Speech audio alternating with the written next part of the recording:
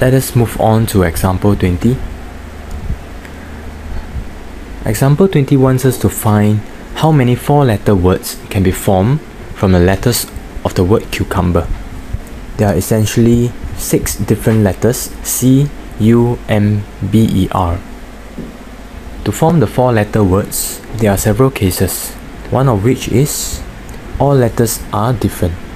So having six letters here, if I want to form a four letter words and all the letters are different, essentially the number of ways we can do that will be 6p4 which is equivalent to 360. Another way of seeing this is to see it as having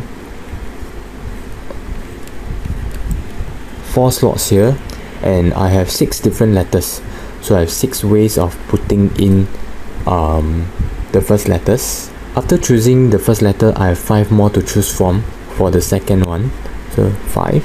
And again I left four letters uh, to place in the third slot here. So I have four. And finally three choices to place at the last slot here. So by the multiplication principle I need to multiply them together which gives me 360 as well and that's case number one. Case number two is having one pair of repeated letters. So what does it mean? It means that let's say um, I were to have C and C to be in the four letter word. And the remaining two has to be different because we only need one pair of repeated letters which in this case is C and C.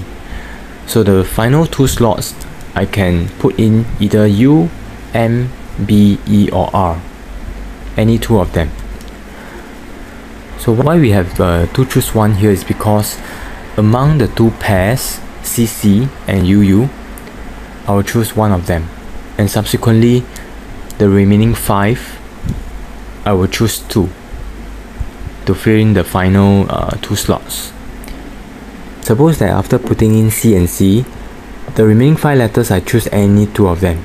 Suppose it's B and R. And the reason why now we multiply by a 4 factorial times 2 factorial is because I still can permutate this combination here.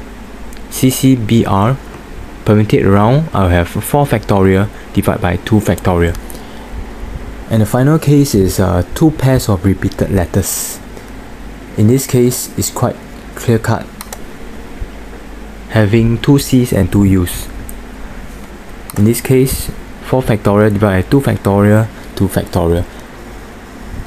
So the total number of ways of uh, having these 4 letter code words will be the sum of 360 plus 240 plus 6 which gives us 606.